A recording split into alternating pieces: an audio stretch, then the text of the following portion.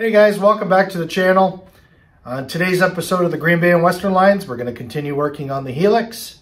Um, I've laid all the cork in the first level of the Helix in, so we're going to continue with the onto the second elevation of the Helix, and I'll explain to you guys uh, what we're up to.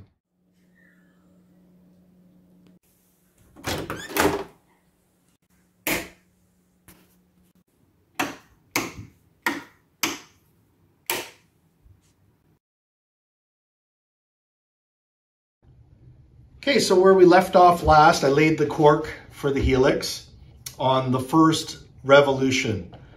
So I've added the second revolution layer on now, and I've laid the cork on it, and we're getting ready to lay the track on this section.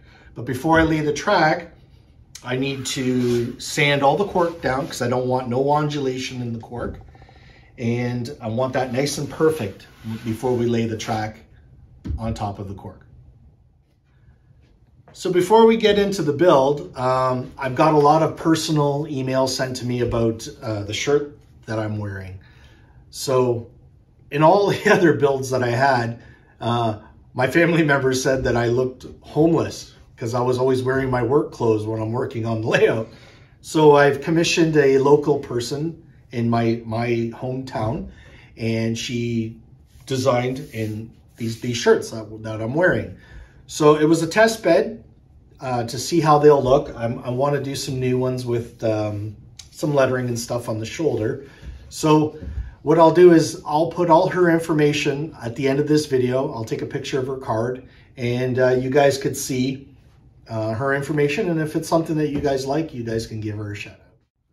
Okay, so I'm gonna sand down all this, all the uh, cork that I have laid. Um, you don't need no fancy tools. I have this oscillating tool, so I'm gonna use this to do the sanding. But you could do this with a regular piece of sandpaper on a, on a block of wood. So uh, I'll get to sanding this and I'll be right back.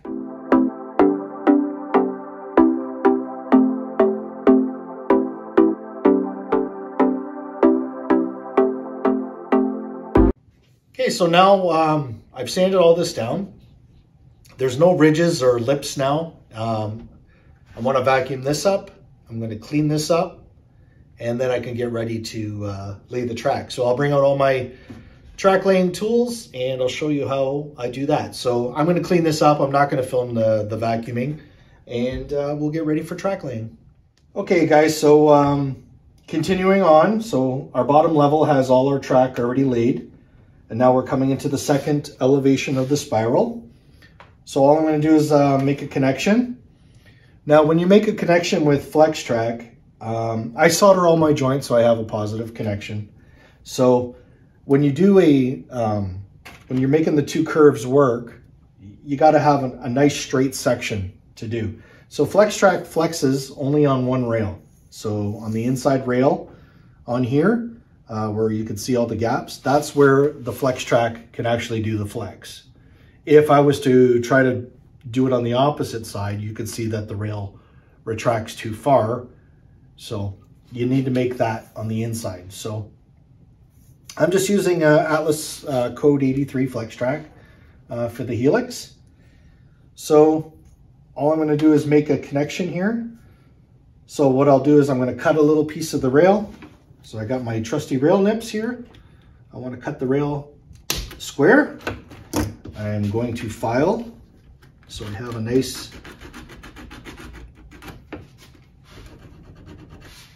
even spot for the connection. And uh, I actually use N scale rail joiners so that once they're on and you have the connection and it all uh, pretty much becomes visible, invisible.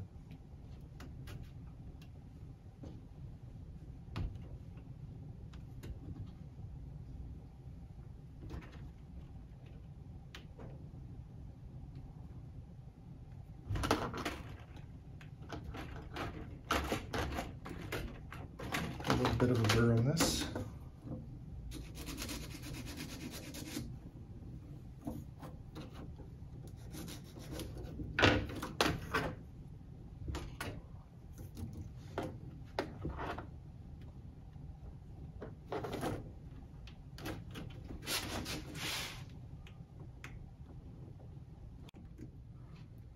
So I'm just going to make the connection. Use my, so I'm gonna set that up. I have my soldering iron plugged in and all I'm gonna do is just use some rosin core flux here. I'm gonna make sure the connection was nice and clean. Oh, a little piece of Dallas hair. Get my soldering gun over.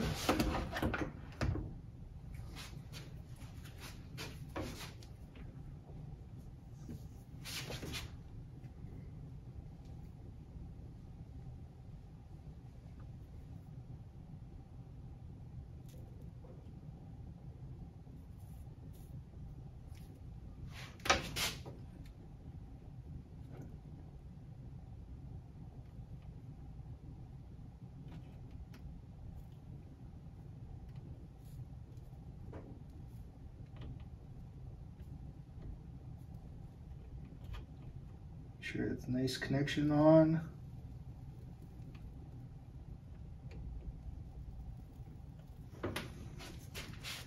Use a little bit more on this side.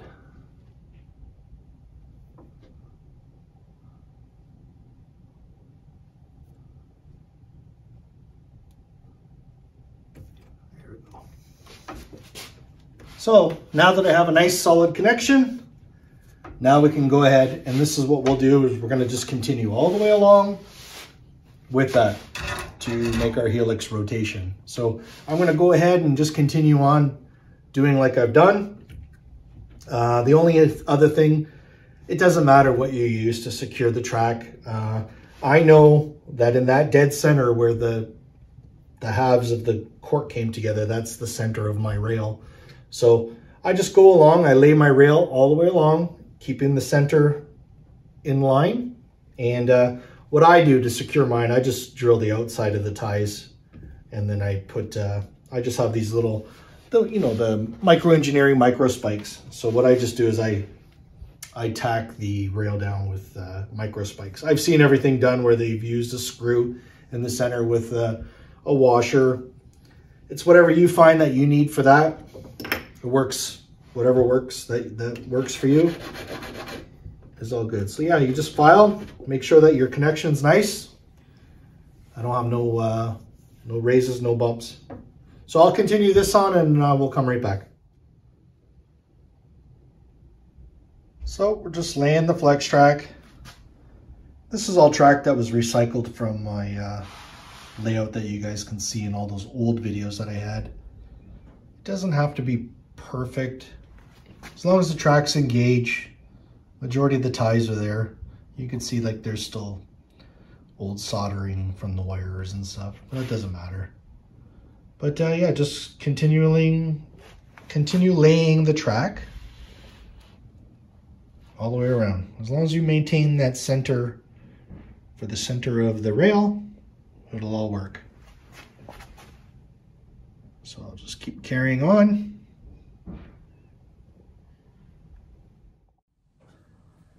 So I've laid the rail now.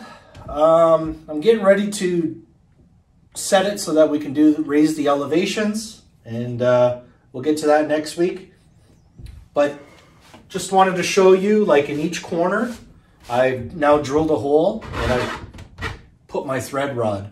So all I've done is just cut a bunch of pieces right now. Um, this is what I'm just using to hold everything together so that nothing's moving when I'm setting up my helixes.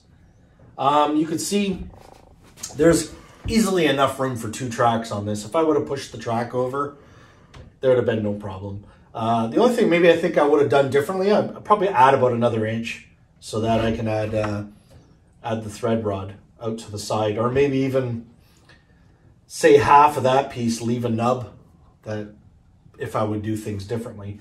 But uh, yeah, so there you have it. I just um, I laid the second piece to the second uh, elevation of the helix. And uh, next week we'll start to set uh, the grades. So we gotta make our uh, elevations between each layer. And then we can start setting up uh, the thread rod so that it holds everything nice solid in place. So um, thanks for joining along, and uh, we'll get you guys next week.